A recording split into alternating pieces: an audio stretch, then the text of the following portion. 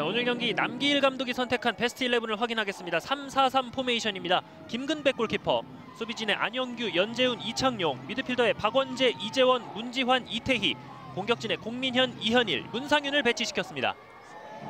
원정팀 제주 유나이티드 최윤겸 감독의 베스트 11을 확인하겠습니다. 이창근 골키퍼입니다. 수비 라인에 박진포, 조용형, 백동규, 안현범의 백포라인. 그 윗선에 이동희, 이선에 김성주, 윤빛가람, 이동수, 임상협, 최전방 원톱 서진수가 출격합니다. 하나원큐 K리그1 2019 파이널 B의 마지막 페이지 성남과 제주의 38라운드 전반전 시작됐습니다. 왼쪽에 성남, 오른쪽에 제주가 자리를 잡았습니다. 코너킥 감아서 붙여줬습니다. 헤딩! 벗어났습니다. 경기 초반부터 역시 강하게 좀 몰아붙이고 있는 성남의 선수들입니다. 킥이 굉장히 좋은 선수, 낙차가 굉장히 큰 선수이기 때문에 한번 기대해 보겠습니다. 반대편으로 길게 보내줬습니다. 슈팅 좋아요. 벗어납니다. 뒤쪽에서 윤빛가람이 지체 없는 슈팅을 때려봤습니다. 앞쪽으로 연결됐습니다. 중앙 쪽으로 꺾어 들어오면서 내줬습니다. 한번 걸렸는데 이공 공민현 받고 들어갔는데요. 반칙 지적됐습니다.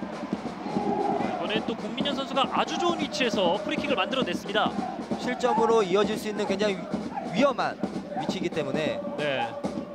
일단 제주 입장에서는 슈팅을 주지 않기 위해서 한두 발자국 나올 필요가 있어 보이고요. 골대와는 상당히 가까운 위치. 프리킥 지나쳐주고 왼발로 갑니다. 펀칭! 오! 골키퍼가 막았습니다. 멋진 선방 보여주는 이창근 골키퍼입니다.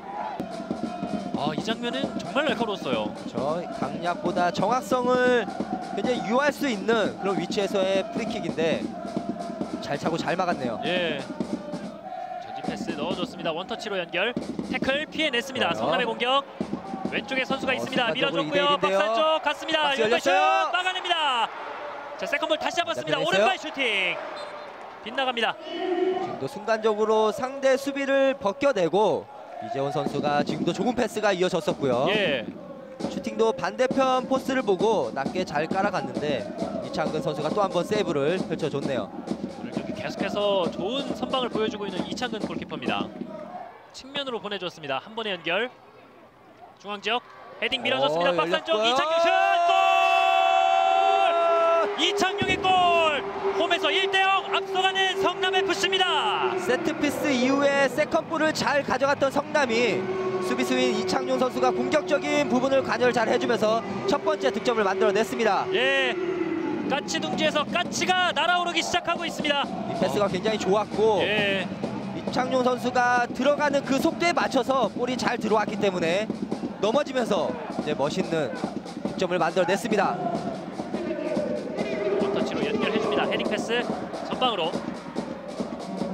계속해서 활발하게 압박을 펼쳐주면서 소유권 바로바로 뺏어오는 성남입니다. 이번에도 뺏어냈고 이현일이 치고 들어갑니다. 안쪽 있어요. 반대편 넘겨줍니다. 흘렀어요. 뒤쪽 일단 살려놓고 뒤쪽으로 패스 연결. 성남이 선제골 이후에 계속해서 좀 기세를 올려가고 있습니다. 윤빛가람 측면 보내줬습니다. 임상엽 공간이 있습니다. 박스 안쪽 살짝 뒤로 내줬습니다. 뒤쪽에서 오른발 슈팅인데 많이 휘어져 나갑니다. 공중볼 경합에서 선수들 간 충돌이 있었지만 경기는 그대로 이어집니다. 박진포 원터치 패스 그리고 앞쪽으로 서진수 받았습니다. 그렇죠. 중앙에서 열렸어요. 서진수 슛! 위쪽으로 빗나갑니다. 문지환 전방으로 뒷공간 바라보고 찔러줬습니다. 공민현 받았습니다. 어, 1대1 공민현. 박스 안쪽 진입. 꺾어줍니다. 오른발 슛! 골! 이제는 2대0 성남이 홈에서 확실하게 앞서갑니다. 어, 이재훈 선수 초반부터 공격적인 가담이 굉장히 좋다라고 칭찬을 했었는데 예, 지금도 빠르게 오버래핑을 돌면서 슈팅할 수 있는 공간을 만들어냈고 침착하게 득점을 성공시키네요. 공민현 선수가 슈팅할 수도 있는 상황이었지만 다른 공격 옵션을 만들어줄 수 있는 선수가 빠르게 일선으로 올라가면서 예. 더욱더 유리한 상황에서 골키퍼의 위치를 확인하고 또 쉽게 득점에 성공했네요. 양팀의 전반전은 이렇게 끝이 났습니다. 이창용과 이재원의 연속골 성남이 2대0 리드한 채로 마쳤습니다. 이번에는 양팀의 두 번째 45분을 함께 하겠습니다. 진영 바꿔서 왼쪽에 제주, 오른쪽에 성남입니다. 자 그리고 두 명의 교체 카드 제주가 한 번에 준비를 하고 있습니다. 권순영 선수와 마그노 선수가 투입될 준비를 마쳤습니다. 그리고 윤빛가람 선수를 빼주는 것 같은데요. 그렇죠. 권순영 선수가 그 위치로 들어갈 것으로 보이고요. 예. 그리고 김성주 선수를 빼주면서 마그노를 투입합니다. 마그노 선수도 공격 위치에서 플레이를 펼칠 수 있는 선수이기 때문에 네, 일단 김성주 선수 대신에 높은 위치에서 플레이를 펼치겠습니다. 그렇습니다. 두 선수의 경합. 성남의 공을 따냈는데요. 두 사람 사이를 좋아요. 빠져나오면서 패스 연결. 공민현 오른발 슛! 정면. 이창근 정면이었습니다. 성남의 프리킥. 프리킥 갑니다. 왼발로 감아 올려줬어요. 헤딩 뒤쪽으로.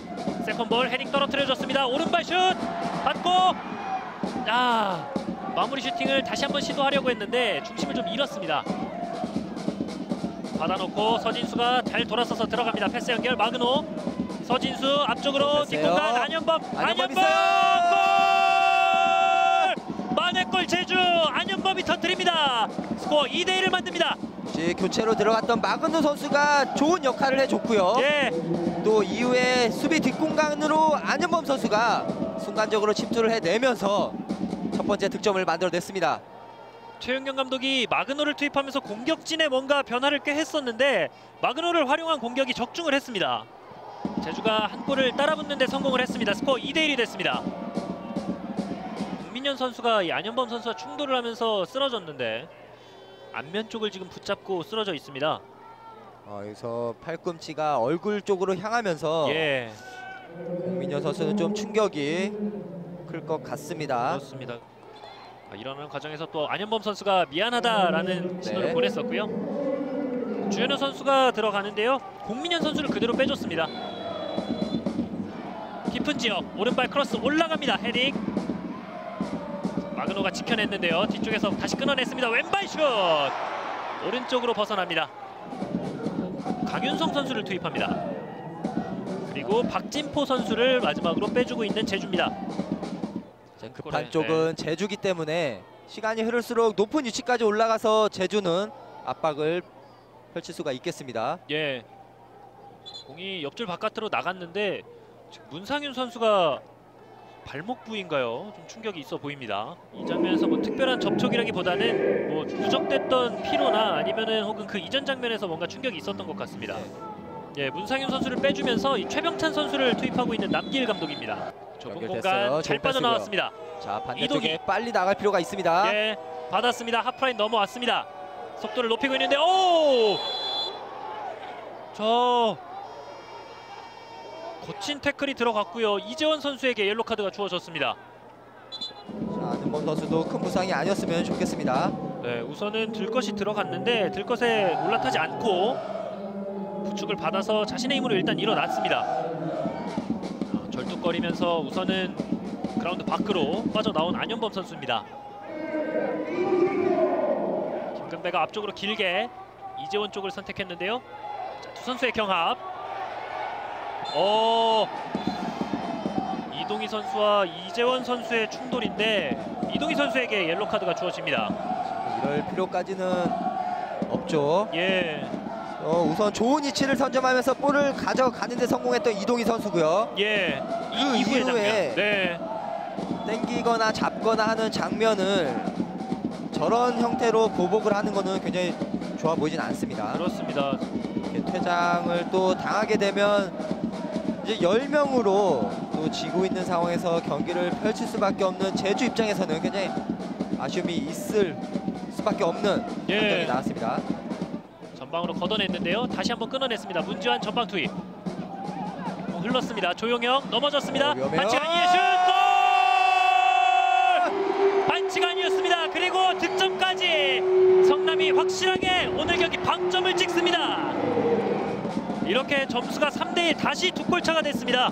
이 공격에서 좋은 역할을 보여주면서 그 승리에 큰 공을 세우고 있는 이재원 선수인데 그래서 이재원 선수가 득점하기 전에 최병찬 선수가 함께 병합을 펼쳐줬어요. 저그 장면을 주심은 눈앞에서 보고 있긴 했습니다. 예, 어떻게 보면 남길 감독의 배려가 있을 수 있는 예. 성범민 선수의 교체로 경기장을 밝게 해줍니다. 그렇습니다. 볼을 뺏어내는데 어려움을 겪고 있습니다. 예, 마그노가 앞쪽으로 전달을 해줬고요. 임상엽이 좋아요. 툭 쳐줍니다. 자, 3대1 상황인데요. 스피드 있죠? 공격 숫자가 더 많습니다. 안현범 빠르게 들어갑니다. 어, 옆쪽에 두 명의. 공격 안현범, 안현범 골대! 세컨볼을 걷어내고 있습니다. 성남 광지역에서 이 공을 막아내고 있습니다. 그리고 두 팀의 올 시즌 마지막 경기 이렇게 끝이 났습니다. 최종 스코어는 3대1 성남이 홈에서 완벽한 피날레를 거둡니다.